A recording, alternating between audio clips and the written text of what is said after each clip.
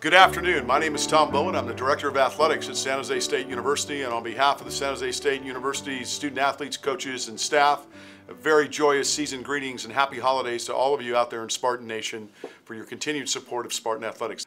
Today we begin kind of a, another series of the Director's Vlog, which is a series of video snippets that we've done for about the last 15 months, allowing you, the members of Spartan Nation and alumni and season ticket holders and fans and all those are, are important to us, a chance to hear from me from my office and in my office today kind of our position on what's going on with a variety of things that have taken place. Clearly, we all have a media outlook and we see stuff in Facebook and Twitter and YouTube and on the blogs of what's going on and what's not going on. I have quietly been collecting questions over the last couple months from many of you who have taken the time to write to me. And for that, thank you. And I would like to say today I'll answer what I can in an honest and transparent way and give you the insight that you have and at least informed enough to where we are and what we're doing at San Jose State Athletics. One of the questions that's been on everybody's mind, I think, since about beginning of uh, January of 2011 has been what will happen in conference realignment, what will happen with the Mountain West Conference, the Conference USA, the Western Athletic Conference, and a variety of other BCS conferences, the ACC, Southeast Conference, the Big Ten, which is now the Big 12, the Big 12, which is now the Big Ten, and that constant Big East dynamic that we don't really have an answer to. Well, today I can share with you the fact that San Jose State University and President Qayoumi and myself and my senior management team have been working diligently in preparation if there was to be a conference realignment invitation extended to San Jose State University.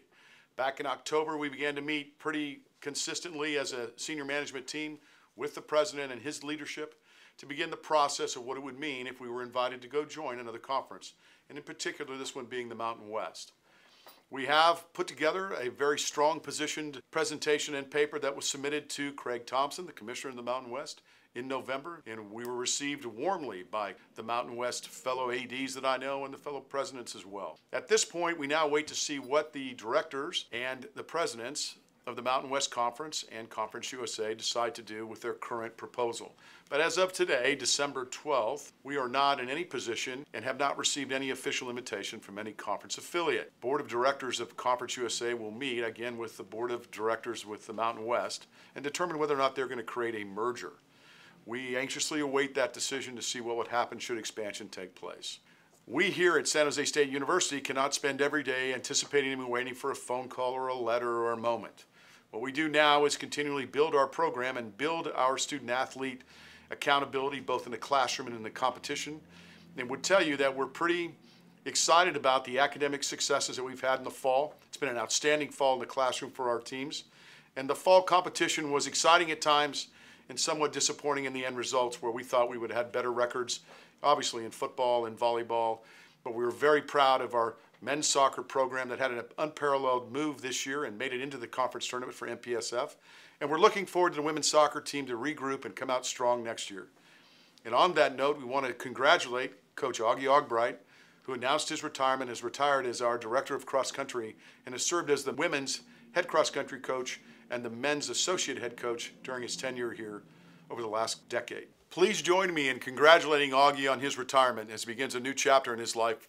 As we continue to move forward in the Western Athletic Conference, we are very committed to what that will mean in 2012 and beyond. And our teams and our coaches and our student athletes are working diligently to enter that new conference with an eye on the prize and being conference champions in all that we participate in. And behind the scenes is the team behind the teams, and that's you. That's all of you of Spartan Nation that have continued to show incredible generosity in these economic times that are somewhat difficult for many and very difficult for few. But all of you have come forward and given freely of your resources, support, time, involvement, and your dollars to keep us moving forward as a foundation and as a department. And for those of you that are waiting to be a part of the Spartan Athletic Foundation, I say now is the time, and we surely could use your support. So as the end of the year approaches and you look to all of your seasons of giving and the nonprofits that you want to consider, please consider supporting Spartan Foundation. As the month of December continues and we move towards the holidays, we also get excited about the two programs that are currently playing in competition in the Western Athletic Conference.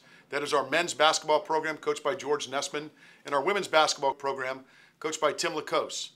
Please take a moment and review the schedule that we will show you and come join us and come be part of the Spartan excitement in the Event Center on campus. One of the questions that was brought to my attention over the last couple months is scheduling a non-conference competition in all sports. It's a very deliberate, conscious effort made by my entire senior team and our head coaches and the university's well-being as well.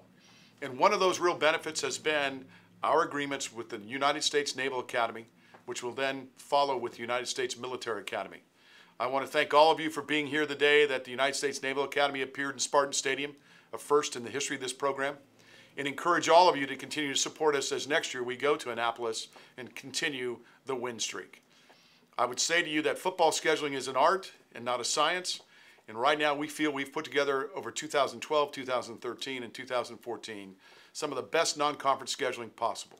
Beginning in 2013, we will renew our long rival with Fresno State University.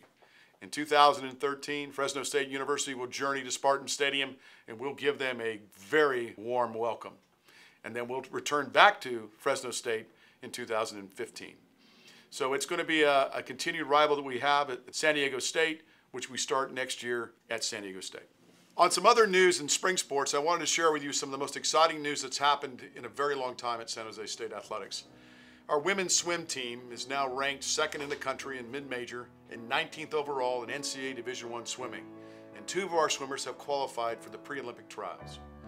Also, women's gymnastics appears to be positioned to have an incredible spring season. I encourage all of you to go out to the pool or the SPX and cheer on our Spartan women as they compete for national prominence. Again, I want to wish everyone in Spartan Nation happy holidays and a joyous season of giving. Thank you.